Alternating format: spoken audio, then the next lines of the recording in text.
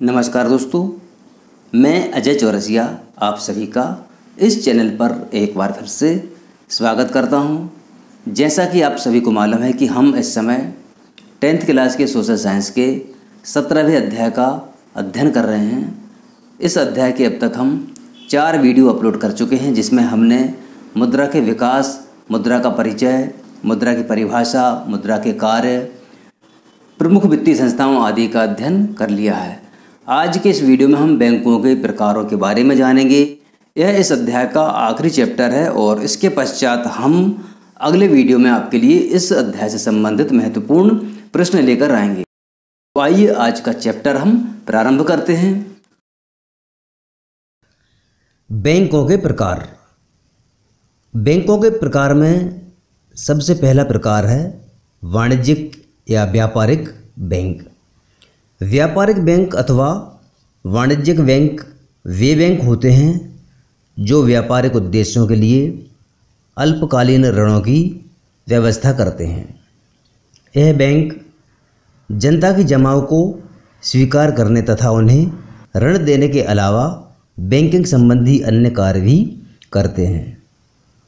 1969 में बैंकों के राष्ट्रीयकरण के पश्चात वाणिज्य बैंकों के कार्यों में महत्वपूर्ण परिवर्तन हुआ है। अब वाणिज्य बैंक कृषि विकास एवं लघु उद्योगों के विकास एवं विस्तार के लिए मध्यकालीन और दीर्घकालीन ऋण भी प्रदान करते हैं।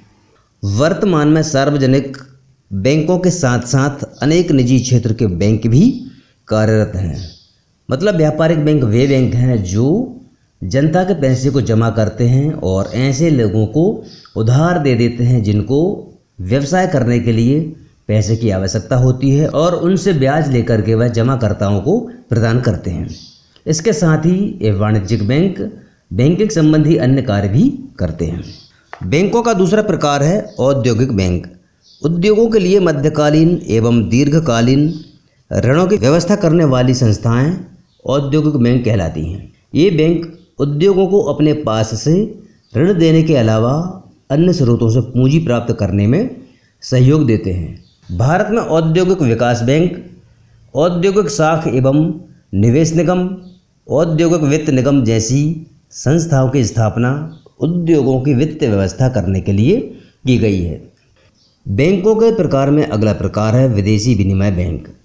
विदेशी मुद्राओं का लेन देन तथा विदेशी व्यापार के लिए वित्त की व्यवस्था करने वाली संस्थाओं को विदेशी विनिमय बैंक कहा जाता है।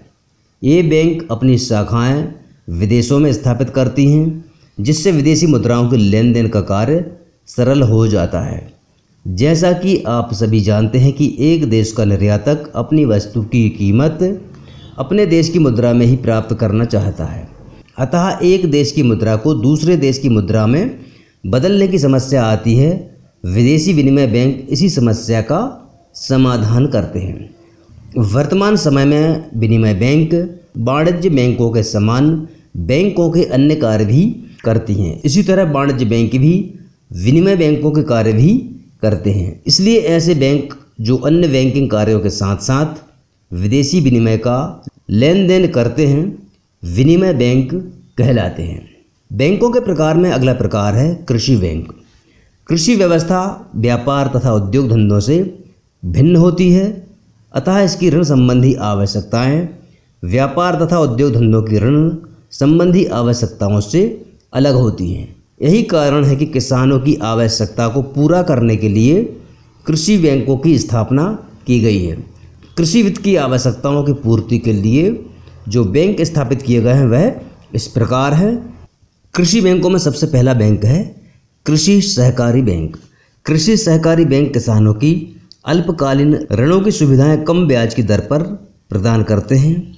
भारत में सहकारी बैंकों की रचना त्रिस्तरीय यानी कि तीन स्तरों पर है। सबसे नीचे ग्राम स्तर पर प्राथमिक सहकारी साख समिति होती है। इन समितियों के ऊपर केंद्रीय सहकारी बैंक होते हैं, जो आवश्यकता पड़ने पर इन समितियों को ऋण देते हैं। इन केंद्रीय सहकारी बैंकों के ऊपर राज्य सहकारी बैंक होते हैं। राज्य सहकारी बैंक जिला सहकारी बैंक की ऋण संबंधी आवश्यकताओं की पूर्ति करता है। राज्य सहकारी बैंकों को जब ऋण संबंधी आवश्यकता होती है तो राष्ट्रीय कृषि तथा ग्रामीण विकास बैंक, जिसे नाबार्ड भी कहा जाता है, इनकी मदद करता है। कृषि बैंकों में दूसरा बैंक है भूमि विकास बैंक। भूमि विकास बैंक किसानों को दीर्घकालीन ऋण देते हैं। यह बैंक भूमि में सुधार करने, कुआँ खोदने, नलकूप लगाने, कृषि यंत्र खरीदने, ट्रैक्टर खरीदने आदि के लिए कम ब्याज पर पंद्रह से लेकर बीस वर्ष की अवधि तक के लिए ऋण प्रदान करते हैं। चूँकि इन बैंकों द्वारा भूमि की जमानत पर ऋण दिया जाता है, अतः इनका लाभ बड़े किसानों द्वारा अधिक उठाया जाता है। कृषि बैंकों में तीसरा प्रकार है क्षेत्रीय ग्रामीण बैंक। क्षेत्रीय ग्रामीण बैंक की स्थापना 1975 में की गई थी। इन बैंकों की स्थापना विशेषकर दूर दराज के ग्रामीण क्षेत्रों के लोगों को बैंकिंग सुविधाएँ पहुँचाने के उद्देश्य से की गई है।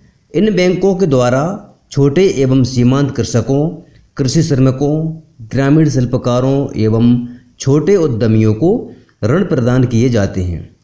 देश में 30 जून 2005 को क्षेत्रीय ग्रामीण बैंकों की 14,484 शाखाएँ कार्यरत थीं।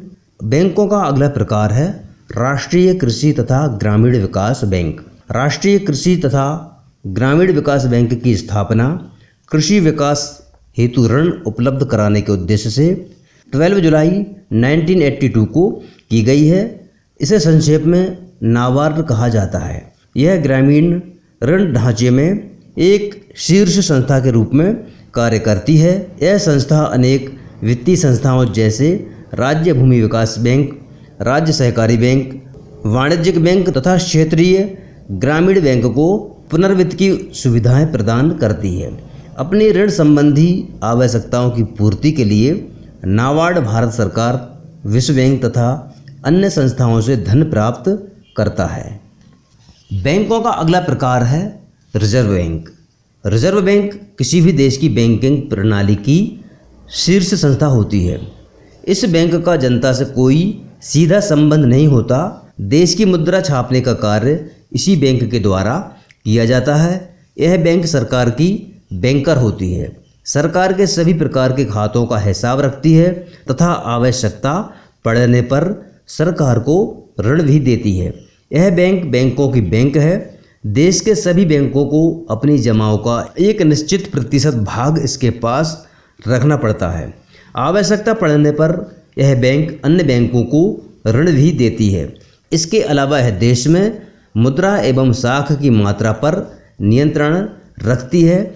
अन्य सभी बैंकों को इसके आदेशों तथा नीतियों का पालन करना पड़ता है। भारत के ग्रामीण बैंकों को रिज़र्व बैंक ऑफ़ इंडिया के नाम से जाना जाता है। बैंकों का अगला प्रकार है अंतर्राष्ट्रीय बैंक। अंतर्राष्ट्रीय बैंकों के अंतर्गत उन बैंकों को सम्मिलित किया जाता है जिनकी स्थापना अंतर्राष्ट्रीय आर्थिक समस्याओं को निपटाने तथा सदस्य राष्ट्रों को आर्थिक सहायता प्रदान करने के लिए की गई है। इस दिशा में 1945 को दो संस्थाएँ, विश्व बैंक तथा अंतर्राष्ट्रीय मुद्रा कोष की स्थापना की गई है। दोस्तों, मुझे उम्मीद है आपने बैंकों के प्रकार के बारे में अच्छी तरह से समझ लिया होगा। अगर आपका कोई प्रश्न है तो आप कमेंट्स बॉक्स में लिख सकते हैं। हम आपके हर प्रश्न का उत्तर देने का प्रयास करेंगे। वीडियो अच्छा लगा हो तो वीडियो को लाइक कीजिए, शेयर कीजिए। वीडियो देखने के लिए धन्यवाद।